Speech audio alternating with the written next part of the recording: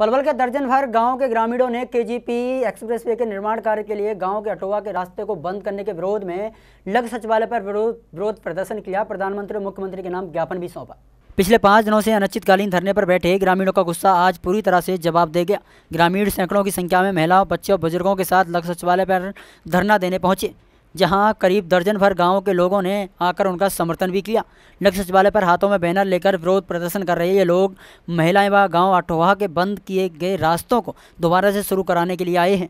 विरोध प्रदर्शन कर रहे ग्रामीणों की मांग है कि केजीपी कुंडली गाजियाबाद पलवल एक्सप्रेसवे के निर्माण कार्य के लिए उनके गाँव के रास्ते को बंद कर दिया गया है, जो कानूनी रूप से गलत है। एक्सप्रेसवे के एग्जिट पॉइंट के लिए हमारे गाँव के रास्ते को बंद किया जा रहा है, जिसके विरोध में वो पिछले पाँच दिनों से गाँव के बाहर धरना दे रहे हैं। लेकिन ना तो सरकार ने हमारी मांग को माना है और ना ही किसी अधिकारी ने इस परेशानी के बारे में ध्यान दिया है। रास्ते के बंद होने से ग्रामीणों को करीब सात किलोमीटर का फेर लेकर आना पड़ता है। उन्होंने कहा कि आज उन्होंने जिला उपायुक्त को मिलकर प्रधानमंत्री और मुख्यमंत्री के नाम ज्ञापन सौंपा है, जिसमें उन्होंने मांग की है कि उनके गाँव के रास्ते को खोला जाए।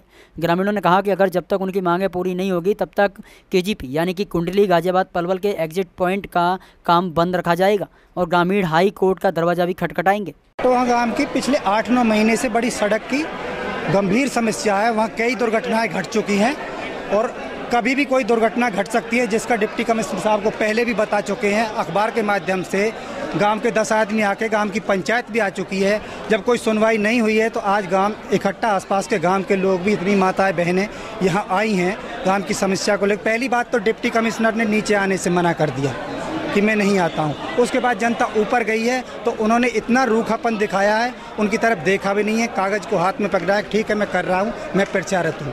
के जी पी पे अटवा गाँव के पास जो सड़क बननी है, जो गाँव से मेन रोड में जुड़ती है, उसकी समस्या है। उस गाँव में जो नेशनल हाईवे ने जो सड़क बनाई है, वो एक गंभीर मोड़ बना हुआ है। उसका नक्शा पहले भी भेजा था कि इस पर पुनर्विचार किया जाए या ठीक किया जाए। यातायात नियमों के अनुरूप नहीं है। ये हमारा अटोहा गाँव में केजीपी का जो एग्जिट पॉइंट आ रहा है उससे वो हमारे गाँव के रास्ते को काटता हुआ आ रहा है मेन रास्ते को। जिससे हम ना निकल सकते हैं, बच्चे भी स्कूल जाते हैं, बसें भी जाती हैं।